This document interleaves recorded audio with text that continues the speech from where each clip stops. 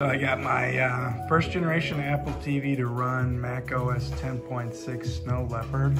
It's fully patched up to 10.6.8. and this is the uh, what it looks like when it boots now. I completely deleted the native ATV OS and just I restored a, a working 10.6.8 Mac OS 10 image to uh, internal drive. Oh, I swapped the internal PATA drive it, it, with a converter. It's now got a solid state drive, which is why the uh, really old Apple TV first generation can boot so quickly now. Uh, it's pretty stable. There's a couple bugs on 10.6 on Apple TV. Uh, obviously it's unsupported, so, um, but this is the boot cycle. It, as you can see, it actually, I just restarted, boots up pretty quick. Um, log in here. I can remember the password. Yeah. So as you can see, it's uh, it's it's booting in. Kind of wild. You can run Mac OS on.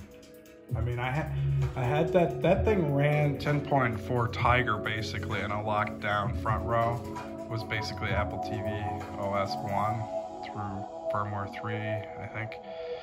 But uh, it is crazy. I mean, full on, full functionality, you know. It remembers what windows I left open.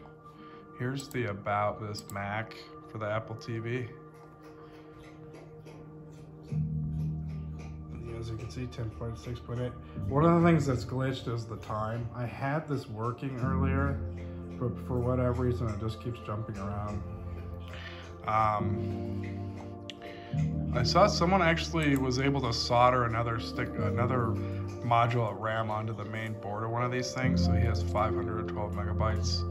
Uh, but again, this is a really old image. I haven't used this in forever, but since there's a revival going on with Apple TVs and um,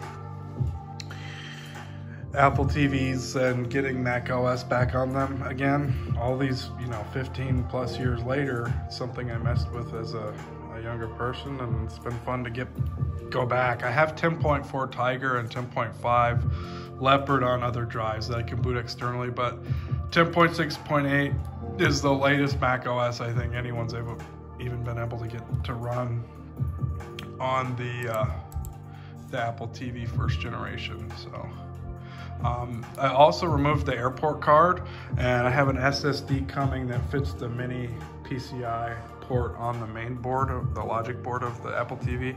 I don't know if it'll actually, I could get it to work, but it'll be interesting to see because it would be that much faster than going through the PATA controller over a converter to SATA SSD, which is what's in there now.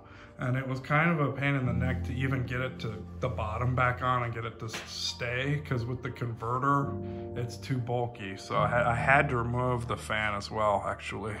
It doesn't seem to overheat at all either so um, really don't even need the fan so. Anyways this is uh, macOS 10.6.8 running on a Apple TV first generation